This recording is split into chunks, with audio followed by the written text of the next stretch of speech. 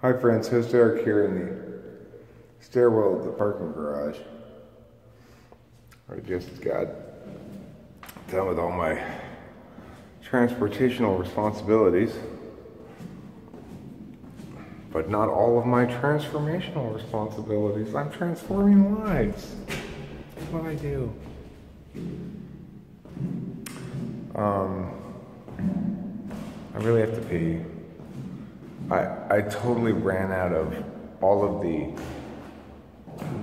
like calm, not getting upset about little shit stuff about half an hour ago.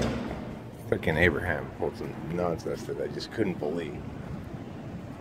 Uh, shockingly poor dealing with shit.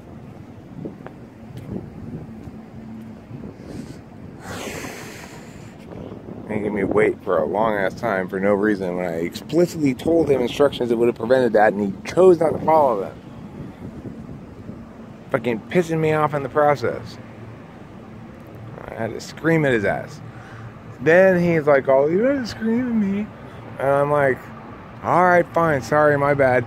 And then I found out that he still hadn't fucking fixed the problem.